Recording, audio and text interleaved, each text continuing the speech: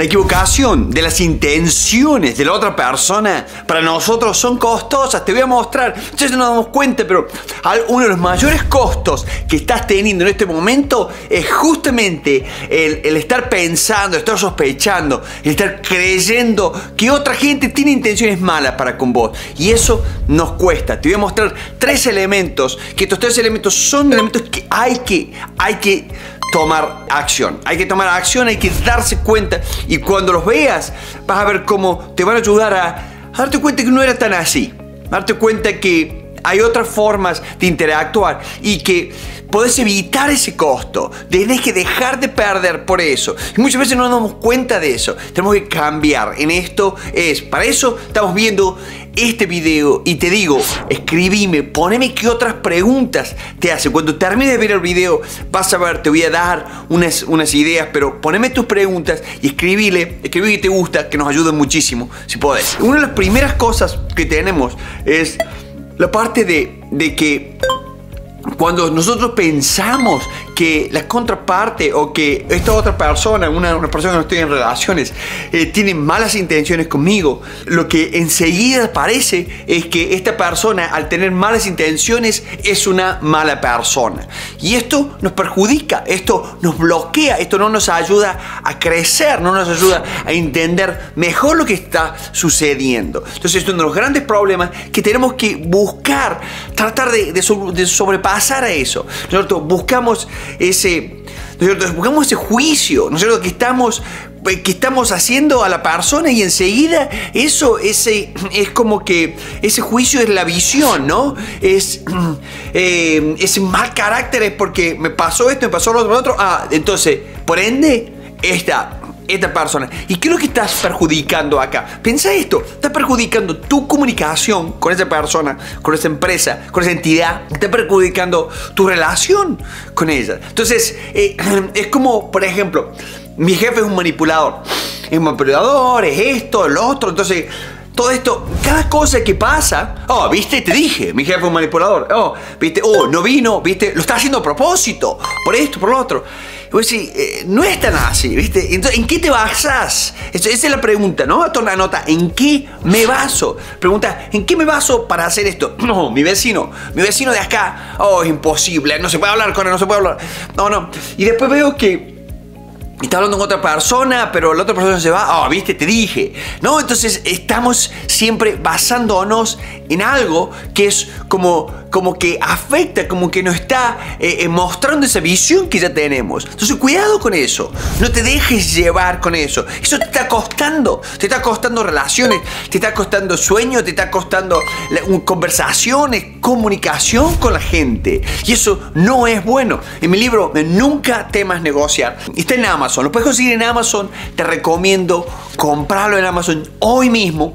Te va a ayudar muchísimo. Y una de las cosas que yo más recomiendo es cómo cómo tenemos que tratar de, primero, no tener miedo y a dónde está, qué es lo que hacemos para no tener miedo en estas negociaciones difíciles, discusiones difíciles, gente difícil. Acá te explico, hay siete pasos, que siete pasos que te van a ayudar realmente que esto se haga mucho más fácil. Pero acuérdate, si le lees un mal carácter, eh, mm, es porque le estás viendo malas intenciones y tenemos que estudiar eso. Hay otros videos que están acá y, te invito a que te suscribas, que te van a explicar, ¿no es cierto? Y te van a explicar ah, de la forma acá de la Universidad de Harvard que yo estoy haciendo cursos, yo estoy trabajando. Y eso es lo mismo que te doy acá. Te doy con toda la intención de que compartamos este conocimiento. Segundo punto que quiero darte es la actitud defensiva que todos tenemos. Tenemos una actitud defensiva por ejemplo, este, quería lastimarme. Oh, no, no, no, vos querías lastimarte.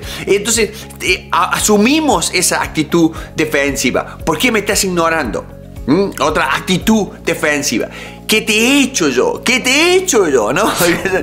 Entonces, ¿qué, qué es lo que eso eso, todo esto, como que te he hecho para pasar por encima mío, para pasar por encima de esto. Entonces, todo eso, nosotros creemos que estamos compartiendo dolor, que estamos compartiendo frustración, que estamos compartiendo la ira.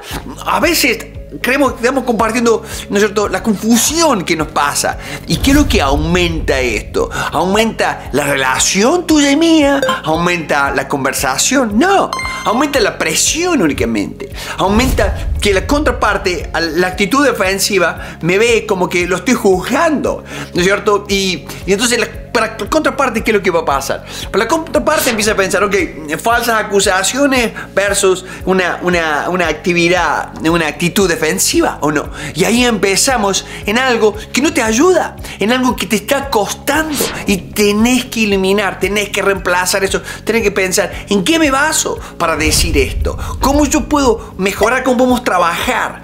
Este, eh, ¿Realmente me quiere lastimar? Si me quiere lastimar, ¿no haría algo más fuerte? ¿Cierto? Si si me quiere ignorar, no, no, no sería distinta la, relación o, qué te he hecho. ¿Para qué le voy a preguntar realmente qué te he hecho? Porque cuando le pregunto eso, todo eso cambia y los resultados me dan que me dan que son un desastre porque empezamos a generar un desastre. Empezamos en vez de construir algo en vez de como te explico en mi libro en vez de buscar sinergia en vez de poder hacer preguntas que construyamos algo mejor que, que veamos cómo podemos cooperar. Siempre el principio de toda negociación yo te explico cooperar cooperar cooperar para competir hay tiempo. Es importante saber cómo competir. Yo te muestro un paso acá, cómo pedir y cómo mostrar los resultados. Son estratégicas y tácticas para que vos puedas pedir mejor, más, más cómodo, más cómoda y puedas llevarte. Poneme acá, en este video, poneme acá abajo, qué es lo que más te gusta y qué otras preguntas tenés sobre negociación, influencia, persuasión. Vos viste, este canal es únicamente para líderes que se dedican a esto, que, que saben que negociamos todo momento de la vida y vas a negociar hasta que te mueras. Así que, ¿por qué no aprender ya? Y aprender todos los días un poco para tener mejores relaciones. Entonces, Acuérdate, esas intenciones, ¿no es cierto? Equivocarnos, lo primero que hace es, una mala persona. El segundo, actitud defensiva mía. Y el tercero, ¿no es cierto? Es que las, esas atribuciones se terminan haciendo realidad si en mi cabeza empiezo a trabajarlas, a trabajarlas. Y te voy a mostrar por qué. Y esto hay un profesor de la Universidad de Harvard que lo explica, que lo desarrolla muy bien. Estas ideas las bajo, las traigo de, la universidad para compartirlas con ustedes. Es importantísimo que tratemos de no depender tanto de psicólogos, sociólogos y tratemos de depender de nosotros mismos, que nosotros podemos hacerlo. Tratemos de depender y, y aprender de nosotros para, para para trabajar en una mejor, para ser mejores personas en la realidad. ¿Y qué pasa? Incluso cuando no sean ciertas, este, el, hecho de que mi jefe no me da suficiente responsabilidad, ¿viste? Entonces me enojo, ¿no? Por ejemplo, y entonces, eh, ¿qué es lo que primero que pienso? ¿No? Eh, la actitud defensiva, oh, bueno, pero eh, no confía en mí, claro, no confía. Entonces, y sigo pensando, no me hago acordar nos hacemos esa historia, esa historia que tiene una visión que está mal, que te está costando dinero. Por eso, escucha, miralo de nuevo el video y fíjate que no te cueste. Porque a todos nos cuesta y no damos cuenta que nos está costando. Creemos que el tiempo es gratis y el tiempo es el activo más importante que tenés. Entonces, eh, eh, eso nos desmotiva. Entonces, mi jefe no me da responsabilidad, ¿no es cierto? Yo no confío en mí, entonces me desmotiva a trabajar. Entonces, ¿qué pasa? Cuando estoy desmotivado a trabajar, mi trabajo se ve afectado. Se ve afectado el trabajo. Y de ahí mi jefe se preocupa y dice, oye, bueno, ¿qué pasa? ¿No? ¿Qué pasa? Que no, que esto y lo otro. Entonces, y entonces, ¿qué es lo que hace tu jefe? Se preocupa y ¿qué es lo que va a hacer? Te va a dar menos responsabilidad. Y es un ciclo, es un ciclo que vas perdiendo. Entonces nos damos cuenta cómo ese ciclo no te ayuda, ese ciclo no te ayuda a ser mejor, ese ciclo no te ayuda a establecer mejores conversaciones, a establecer mejores relaciones, a establecer mejores negociaciones. Eso es lo que tienes que buscar. Que no te cueste, fíjate, no es tan difícil, pero tenemos que empezar a trabajar ya, ya, ya, ya. Fíjate acá, busca el libro, está en Amazon y busca acá, tenés una hoja con las 10 preguntas más importantes para prepararte. La preparación es clave porque yo quiero que vayas bien preparado, preparada a toda negociación, a toda situación, a toda conversación difícil, a toda conversación que quieras influir, persuadir y negociar, ¿no? Cuando creemos, ¿cierto? Que las la persona tiene malas eh, intenciones, afecta nuestro comportamiento. Eso, eso, es, eso es somos seres humanos. Cuando alguien tiene una intención, pero yo creo que esa intención es mala, me afecta mi, mi comportamiento y nos comportamos, ¿no es cierto?, eh, de esa forma. Busquemos, pensemos, ¿por qué? Y pensemos que también el ser humano comete errores, puede haber cometido un error de haber hecho la pregunta equivocada. Y lo hacemos mucho. Yo lo hago, vos lo haces, todos lo hacemos. Entonces pensemos cómo podemos trabajar en eso. Y las atribuciones, no dejemos que se hagan realidad rompamos ese ciclo. No dejemos, luchemos para que no se haga en realidad. Quiero que veas un video donde yo te hablo sobre, ¿no es cierto?, de la empática historia persuasiva. ¿Cómo? ¿No es? En este libro, Nunca temas negociar, cómo hacemos estos siete pasos para que, para que estos siete pasos te ayuden a ordenarte en toda negociación. Y poneme acá, escribime, ¿qué otras preguntas tenés? Escribime. Porque no te olvides, la persona que participa e interactúa, vas a ver que yo, yo mismo te voy a contestar.